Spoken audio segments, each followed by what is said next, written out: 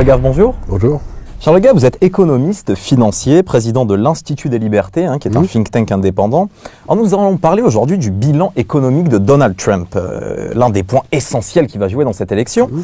Trump a obtenu des succès économiques, c'est un fait, mais quand on voit les chiffres du déficit commercial américain, dont celui avec Pékin qui a augmenté de 18,8% sur un an, euh, on se dit que la stratégie du président américain euh, a été plutôt un échec au niveau du commerce international? Bon, vous savez, il faut le dire vite parce que euh, Pékin n'a, pour ainsi dire, aucune interruption de son activité et il y a toute une partie de l'appareil industriel américain qui a été arrêtée par le Covid.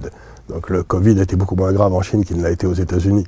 Et donc ben, les exportations américaines n'ont pas eu lieu et les importations qui ont été remplacées par des importations chinoises. Donc euh, on ne peut pas juger euh, le commerce américain sur les 9 ou 12 derniers mois, ça ne veut pas dire grand-chose. Et avant la crise du Covid, euh, Donald Trump n'avait pas réellement réussi à faire baisser les, les, importations venues de Chine, ce qui avait montré que les États-Unis étaient encore plutôt très dépendants de... C'était pas... D'abord, il faut savoir que le commerce extérieur américain est une petite partie de leur PIB. Et la deuxième des choses, si vous voulez, c'est que Trump n'est pas un fanatique du, de la balance commerciale. Ce qu'il veut, c'est que les gens produisent aux États-Unis quand ils vendent aux États-Unis. Donc, euh, on ne mesure pas ça tellement euh, avec le commerce international, on mesure avec le nombre d'usines qui se réinstallent en, Effectivement. À, Détroit. Et là, ça, là il, y en a eu plein qui sont réinstallés. Quoi. Il y a eu plusieurs milliers d'emplois de recréer à Détroit, dans le Michigan, etc. Donc, il est trop tôt pour dire que ça a réussi, mais en tout cas, il est aussi trop tôt pour dire que ça a échoué. Quoi. C'est, mmh. euh, pensez que sa stratégie voilà, de, de rapatriement des capitaux aux États-Unis et des entreprises américaines sur le sol américain ben, C'est-à-dire qu'il dit un truc qui est assez simple, c'est que comme le marché américain est le plus important du monde, le marché de consommation, ben, il trouve que c'est normal que les gens euh, servent ce marché américain à partir d'usines aux États-Unis plutôt que euh, de l'autre côté de la frontière. C'est euh, en disant, écoutez, si vous vendez aux États-Unis, il faut que vous produisiez aussi aux États-Unis. Nous, on n'est pas du tout protectionnistes, disent-ils, mais on aimerait bien que vous produisiez à la maison, quoi. Et c'est pas très, ça paraît un petit peu logique, quoi. Et puis, et puis voilà. Donc, je crois pas que de ce côté-là, en tout cas, ce qu'il y a de certain, c'est quand on voit la campagne qui est en train de se passer aux États-Unis, quand il se baladent dans le Michigan ou des choses comme ça, il y a des dizaines de milliers de personnes qui viennent le remercier. Il y a un monde fou, quoi. Donc, euh, je sais pas si c'est une réussite, mais du point de vue populaire, en tout cas, il est tout à fait évident que les États qu'on appelait euh, le Rust Belt, vous savez, l'endroit oui, la ceinture, la, euh, ceinture, rouillée, la ceinture rouillée, mmh. Euh, a connu sous Trump une, une reprise assez forte. Donc, c'est-à-dire que quelque part, son travail d'essayer de réindustrialiser les États-Unis, pour des questions de souveraineté. Vous savez, on en parle partout. Vous pouvez pas écouter Zemmour à la télévision sans qu'il vous dise qu'il faut ré réindustrialiser la France. Bah, en tout cas, c'est l'air d'avoir été perçu comme ayant été réussi par la population. Quoi. Alors, en dehors de la Chine, Donald Trump, il a tendu les relations avec l'Europe au niveau du commerce international aussi. Est-ce que vous direz que les États-Unis aujourd'hui sont plus isolés que jamais sur la, la scène du commerce international? Bon, isolé, isolé, c'est toujours pareil, si vous voulez. C'est, euh, je vais botter en touche, comme on dit en rugby, mais je vais vous répondre de la façon suivante. Qu'est-ce qui s'est passé en Europe depuis 1950 On n'avait plus d'armée. On a eu l'armée américaine. Très bien, mais ça coûte cher aux États-Unis. Et ce que demande Trump, c'est que, ben, dans le fond, il paye, l'Allemagne en particulier, paye pour l'armée américaine qui est sur son territoire. Et Trump dit, je vais pas vous défendre, et en plus, vous faites pas les dépenses, ce qui vous permet d'avoir des voitures moins chères que les miennes et me foutre en l'air mon industrie. Alors, avant la crise du Covid-19, le niveau de chômage était historiquement bas aux États-Unis, hein, aux alentours de 3,5%. Le pays venait de connaître 2,3% de croissance en 2019, hein, score euh, qu'envierait la, la, France. Euh, mais le coronavirus est venu tout balayer. Et surtout, euh, le, le, taux de chômage pour les, hispaniques et les noirs était au plus bas historique. C'est-à-dire qu'il a pris toute une série de mesures pour favoriser l'emploi des Noirs et des, et Hispaniques. Et donc ça aussi, ça peut jouer dans l'élection. Dans C'est-à-dire que les gens se disent, bon, la, la, stratégie des démocrates, ça a été de dire que Trump était très méchant et que tous les gens étaient morts du Covid aux États-Unis à cause de lui. Bon, bah, si vous voulez, on peut pas dire que c'était un succès énorme, là, la stratégie de Trump. Enfin, les gens claquent du, euh, Covid partout. Donc euh, c'est euh, dire que le Covid est aux États-Unis à cause de Trump et que c'est lui le responsable parce qu'il a mal fait le truc. Bon, c'est pas mieux passé en Italie, ça s'est pas mieux passé en Espagne, ça s'est pas mieux passé en France, ça s'est pas mieux passé nulle part. Donc mais la seule chose, c'est qu'ils attaquent Trump, c'est la seule chose qu'ils peuvent l'attaquer sur sa gestion du Covid.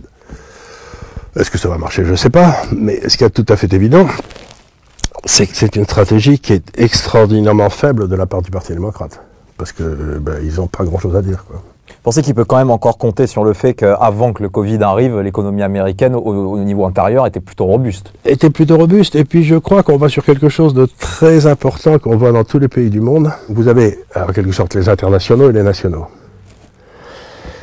Et Trump a très bien perçu cette différence. Et euh, depuis, euh, il s'est fait élire la côte Est et la côte Ouest aux États-Unis. Le haïs à un point qui dépasse l'entendement. C'est-à-dire, on appelle ça le, le Trump The Arrangement Syndrome. Vous savez, le type, les types sont, les types, mais c'est absolument incompréhensible. Pour moi, cette élection se passe beaucoup plus. Est-ce que le peuple américain, ce qu'on appelle le pays au-dessus duquel on vole, vous savez, le flyover country, parce que les gens importants comme Madame euh, Clinton, par exemple, elle s'arrêtait jamais au milieu. Elle allait de New York à Los Angeles et de Los Angeles à New York, mais ce qui se passait en dessous, ça ne l'intéressait pas. Elle appelait ça les deplorables, vous savez, les, les gens qui sont euh, les bons à rien, quoi, les, les corneaux, les gars qui n'ont pas fait d'études. Et ça, c'est toute l'Amérique profonde. Donc la question, c'est est-ce que il va réussir à augmenter son électorat dans l'Amérique profonde? Parce que dans les côtes, il sera battu, c'est certain. Ça, euh, Donc vous pensez que sa, stratégie plutôt populiste, hein, on peut dire, euh, peut bah, encore pas, fonctionner bah, Populiste, vous savez, c'est toujours pareil, c'est s'occuper du peuple d'être populiste. Hein. Les autres s'en occupaient pas, ils ont laissé les, se faire bouffer par les entreprises chinoises, ils ont laissé les importations rentrer, ils ont euh, détruit l'appareil industriel, ils ont détruit l'appareil d'éducation. Donc oui, non, populiste, si vous voulez, pour moi, c'est pas une insulte, c'est plutôt un compliment. Aujourd'hui, aimer, le peuple, aimer le peuple, c'est pas une insulte. Aujourd'hui, la société américaine, elle semble quand même plus divisée que jamais. Hein. Ça fait des mois qu'on voit des manifestations ultra violentes avec le mouvement Black Lives Matter. On a des supporters de Trump qui ont été tués par le camp adverse et vice versa. Euh, ah, c'est peu, c'est peu vice versa. C'est plutôt les supporters de Trump qui ont été tués que le contraire. certains disent qu'il euh, y a des ah, relents de guerre civile en ce moment. il y a tout à fait des relents de guerre civile, mais c'est la même chose. Qui, vous savez, il y a des relents de guerre civile dans beaucoup de pays. La France est un pays dans lequel il y a énormément de relents de guerre civile aussi, hein, pour les mêmes raisons. Donc, euh, euh, je crois qu'on est en train d'arriver un petit peu à la fin euh, de la social-démocratie mondialiste, quoi, vous voyez, de cette espèce de truc. on va laisser rentrer tout le monde, on va laisser sortir le monde, il y aura un gouvernement mondial et tout ça. les gens se rendent compte que la seule réalité, dans le fond, c'est. Et si Trump est battu, parce que Biden, c'est plutôt le candidat de cette social-démocratie. Ah, complètement, c'est le, le, candidat de Davos. Donc s'il est, parce que pour l'instant, dans les sondages, il est, il est donné gagnant. S'il est réélu, est-ce que... Oh, vous savez, les sondages, euh, bon, on verra ce que ça donne, puisqu'on n'est plus qu'à 14 jours des élections, on n'a plus très longtemps à attendre. Euh, S'il est battu, c'est assez simple, c'est qu'à ce moment-là, qu'est-ce qu'a essayé de faire Trump Comme vous réfléchissez du point de vue économique?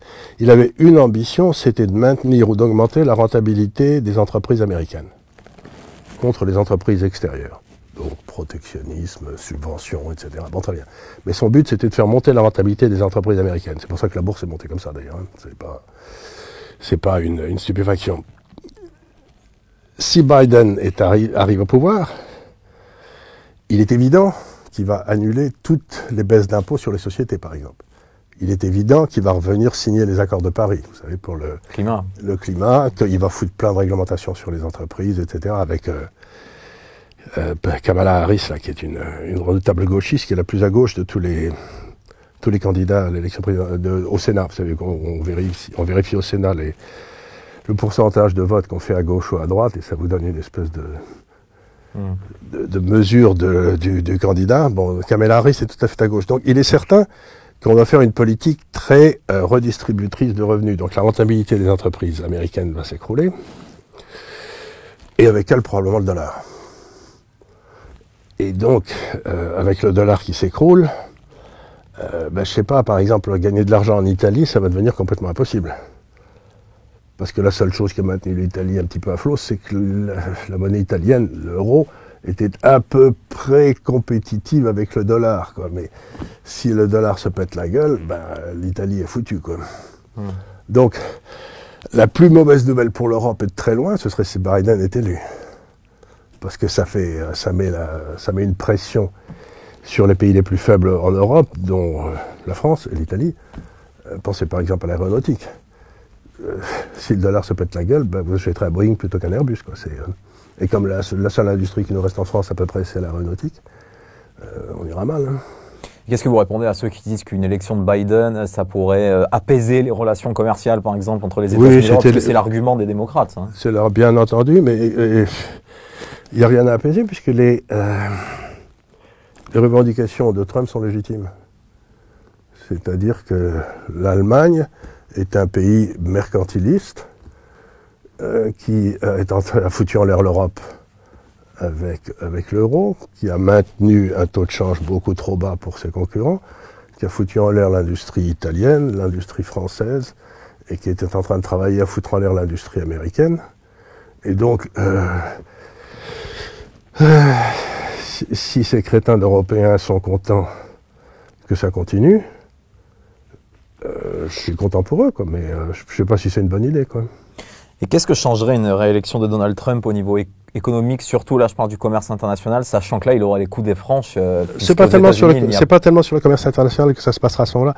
C'est que dans, euh, d'après ce qu'on peut savoir, c'est toujours difficile à savoir, mais dans l'administration dont Trump a hérité, en particulier le ministère de la Justice, ils avaient mis toute une série de, de, de taux pour empêcher tout, euh, pour empêcher Trump de gouverner, pour être parfaitement.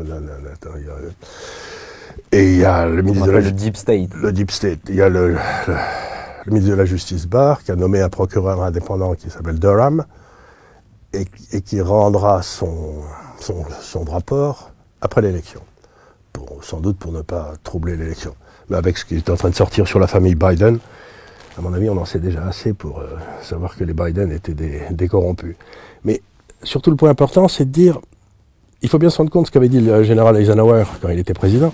Il avait dit il faut vous méfier du complexe militaro-industriel, c'est-à-dire la CIA, les fabricants d'armes, etc., qui sont au pouvoir depuis très très très longtemps aux États-Unis. Et pendant les années euh, Clinton, Bush le second et Obama, ces gars-là se sont déchaînés. Ils ont fait des guerres partout, ils ont exporté des armes, ils ont gagné de l'argent trop comme eux. Et quelque part, euh, ils l'ont pas fait de façon démocratique, si vous voyez ce que je veux dire. C'est-à-dire que tous ces gars-là, tous ceux qui ont monté ces coups et qui ont monté ensuite peut-être, peut-être, on verra si ça se passe, un complot contre euh, Trump pour l'empêcher de gouverner avec l'histoire de du Russiagate, de Russiagate et toutes ces âneries dont on sait maintenant que c'était que des âneries. Donc tous ces gars-là risquent d'aller en tôle pour tentative de coup d'État contre la Constitution américaine et les Américains ne rigolent pas avec ça. Donc pour moi, c'est pas le commerce extérieur qui va faire une différence énorme c'est si par hasard Trump était élu, il va y avoir un nettoyage de l'État profond aux États-Unis qui va faire paraître Watergate mmh. comme une plaisanterie. Donc c'est plus, plus, là qu'au niveau économique en fait. Une, ah ben, une, une réélection ne changerait pas grand-chose. Sur... Le point économique, ça ne change rien. On sait qu'il va continuer la même chose. Donc pour moi, c'est surtout la fin de cet ordre de la Seconde Guerre mondiale qui était fondé sur euh, la CIA, le FBI, euh, les marchands d'armes, les, euh, forcer les autres pays à la démocratie, si vous voulez, en les envahissant, en leur tapant dessus. Voyez, qui pourrait voler en éclat avec une réaction de, de Donald Complètement. Trump. Et à ce moment-là, à mon avis, il y aura un rapprochement assez rapide avec la Russie en particulier. Très bien. Dernière question, Charles Gave. Est-ce que vous y croyez à l'élection de Donald Trump, puisqu'il est donné battu dans tous les sondages? Ben, Regardez la télévision. Partout où il passe, il y a 50 000 personnes qui viennent le regarder. Quand Kamala Harris était là, il y en avait 50. Donc, euh, on va voir, mais moi j'ai plutôt tendance à voir euh, partout où va Trump, vous avez plein de gens qui viennent, qui le suivent, et partout où vont euh, Biden qui est resté dans son sous-sol et Kamala Harris qui fait, soi-disant campagne, il n'y a personne qui vient les voir. Donc, peu le même schéma qu'en 2016. Oui, mais aussi il se passe quelque chose de très curieux, donc il faut, il faut mentionner ici, c'est que dans les sondages d'opinion aujourd'hui, 70% des, des républicains refusent de répondre. Parce que s'ils disent oui, je vais voter Trump, ils sont virés le lendemain matin si par hasard ils sont dénoncés par la société de sondage. Donc aujourd'hui, il y a 70% des Américains. Sur les sondages que vous voyez, c'est simplement sur les 30% qui veulent bien répondre. Mais ça n'est jamais arrivé dans l'histoire des États-Unis qu'il y ait 70% des sondés qui disent non, ça ne vous regarde pas. Donc je ne suis pas du tout certain de la qualité scientifique des sondages. On verra. Très bien. Merci beaucoup, Charles. Merci à vous.